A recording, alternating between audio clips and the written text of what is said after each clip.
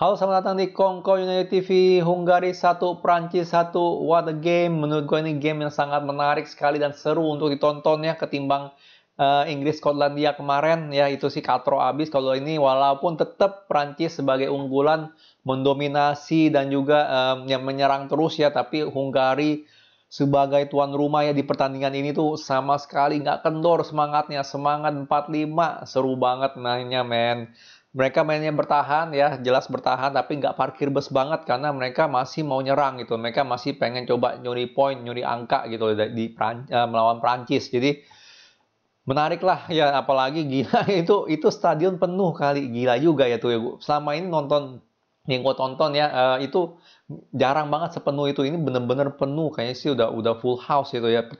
Penontonnya banyak banget ya. Jelas itu Hungari hampir Hungari semua Cuman ya gitu, Hungari walaupun main bertahan, tetap semangatnya 45 dan juga mereka pengen nyuri poin ya, kelihatan banget dan sangat efektif kalau mereka megang bola, mereka mau coba bangun serangan pasti lumayan berbahaya gitu. Ada ada bahaya bahayanya lah, apalagi counter counter mereka yang cukup cepet ya. Kalau Kim BP itu mainnya nggak bagus hari ini itu sih udah ya udah bisa gol lagi gitu loh benar nggak ya. Jadi Hungari gue harus acungin jempol ya, gimana pun juga harus acungin jempol karena ya nggak gampang ketemu Prancis tapi dia mereka berani main seperti itu ya. Oke lah mereka main tiga lima dia mereka main tiga lima dua nggak salah kan ya. Kalau tiga lima dua gampang banget lah jadi lima tiga dua benar nggak? Jadi dia langsung turun aja gitu loh wingannya jadi wingback benar nggak? Jadi kelihatan banget uh, dengan formasi seperti itu mereka gampang transisi dalam menyerang uh, dalam counter bukan menyerang ya dalam counter ataupun dalam defense ya.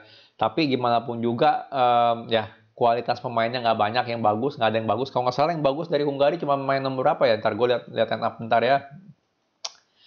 Uh, Hungari nomor 15 ini lumayan ya kayak John McGinn nih orang di mana-mana ada nih orang uh, nomor 5 lumayan ya karena dia cukup bantu nyerang juga sama nomor 20 sebenarnya lumayan tapi finishingnya katro dia cukup gesit dan cukup banyak ngeforce defendernya um, Prancis untuk melakukan foul gitu ya. Jadi lumayan nih orang. Tapi ya gitulah tetap aja kualitasnya belum top-top banget sih kayaknya sih enggak lah kalau gue bilang. Cuman ya lumayan lah. Jadi kayak itu doang sih nomor 15, nomor 20 sama nomor 5 yang menurut gue paling paling inilah paling um, dominan ya dan juga kipernya lah itu ada berapa kali ya dua tiga kali dia adalah save yang lumayan lumayan krusial ya. Jadi um, golnya si uh, Viola ini dari counter ya singkat gue ya. Jadi um, passing yang brilian dari siapa itu ya dari tengah terus passing. Tapi Foran one two lah kayak kombinasi gitu one two terus Foran nggak bisa ngejar gitu. Tapi kalau Foran mau coba tackle pun kan udah masuk kotak penalti bahaya. Dan juga Loris nggak bisa uh, nge-save bolanya. Jadi um, golnya seperti itu. Golnya dari kalau untuk golnya Prancis menurut gue sih ada faktor hoki dan juga ada faktor defensive blunder. Ya itu kan berawal dari free kicknya Hungari ya. Free kicknya Hungari mereka terlalu kilaf ya terlalu kilaf jadi mereka nggak salah ada ada 8 orang maju gitu. Jadi tinggal sisain dua center back. Gue nggak tahu itu center back atau bukan ya, tapi yang dua pemain Hungari di belakang.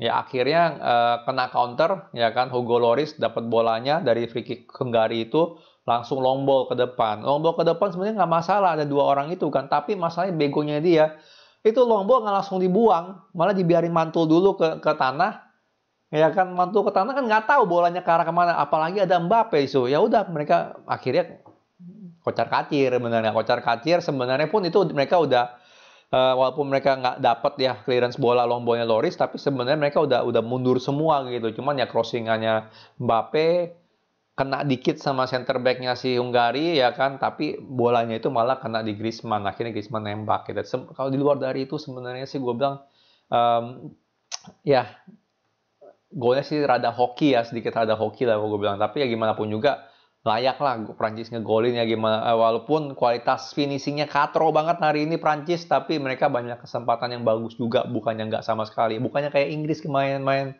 ya yang bingung mau ngapain ya untuk untuk distribusi bola masuk ke kotak penalti ya bingung mau ngapain ya. Um, kalau kita lihat uh, lihat statistik sebentar, statistiknya aja kita bisa lihat tuh, Hungari 3 on target, mereka cuma 4 dari 10 nyoba ya. Bisa kelihatan kan benar nggak itu itu katronya minta habis, minta kantornya minta ampun itu finishingnya si uh, Prancis hari ini yang Mbappe lah, Griezmann lah itu, aduh Benzema juga sama.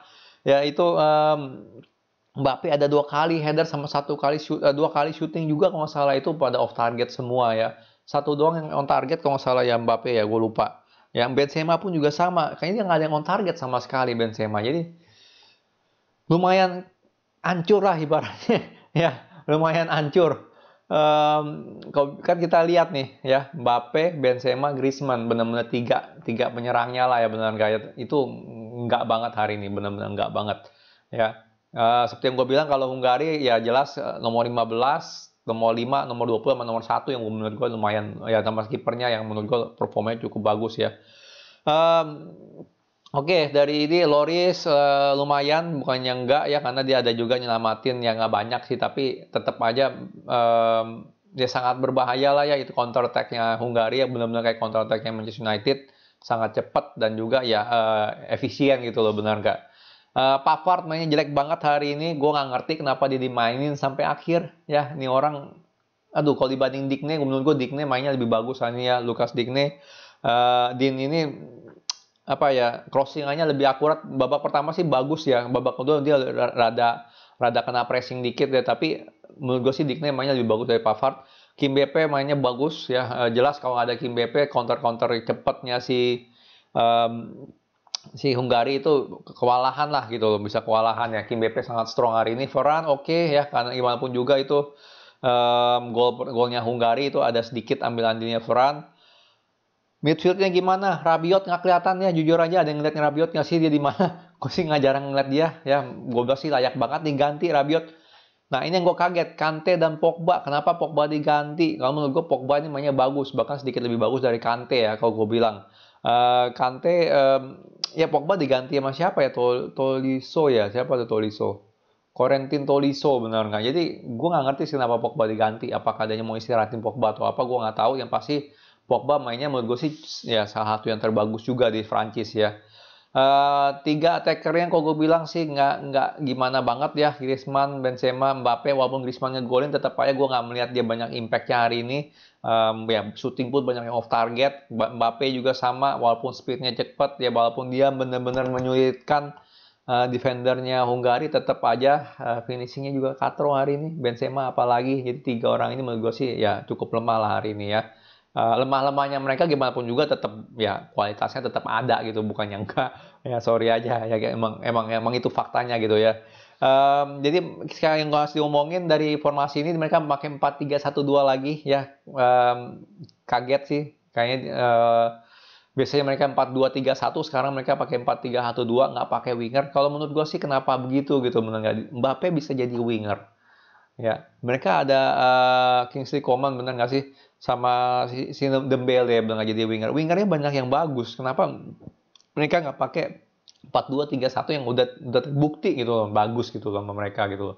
Ini gue sih nggak ngerti ya uh, Deschamps main 4-3-1-2 Ya, gitulah. Hari ini sih bukannya main jelek ya, tetap aja. Um, tapi emang finishingnya aja menurut gue sih nggak yang mengecewakan lah, yang bikin mereka seri gitu loh. Yang hoki itu gol tuh, hoki itu gol. Kalau nggak tuh nggak ada yang gol tuh mereka tuh. Ya, Um, paling itu aja bisa diomongin dari pertandingan ini. Jujur gue walaupun walaupun Hungari serang terus, gue enjoy banget, seru banget nonton ini. Walaupun gue netral ya, gue gue tetap Itali.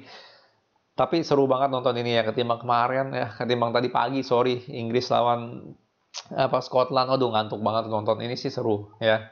Uh, ntar malam jam 11 ya, ini gue bikin jam 10 lewat 10, jam 11 ada Portugal Jerman ya, kemungkinan gue nonton besok ya replaynya karena ya Ya, gue gue cuma eh, ngikutin tiga lah di Euro ini, Prancis, Inggris, sama Italia ya. Italia jagoan gue.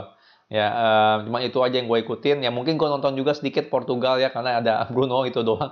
Uh, tapi kita lihat lah, karena bakal seru juga nih. Berarti kan uh, Prancis, Portugal tiga, bener nggak ya? Hungari satu. Nah, ini seru sih, bakal seru sih. Kalau apalagi kalau Jerman menang nih bakal seru nih grup nih. Grup nerakanya bakal seru ya. Oke, sekian video dari gue. Kalau suka jangan lupa like, subscribe, and thank you for watching.